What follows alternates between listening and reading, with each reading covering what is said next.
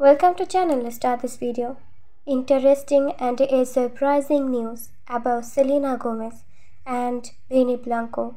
Selena Gomez shares her new personal picture with the boyfriend Benny Blanco, revealing a shocking major clause about their relationship. Selena also shares her video on social media in which she teasing her a boyfriend Benny Blanco. The rumors are going viral on social media. Like a fight. about their a relationship, Selena fell love with Benny Blanco just after the news of Hailey's pregnancy.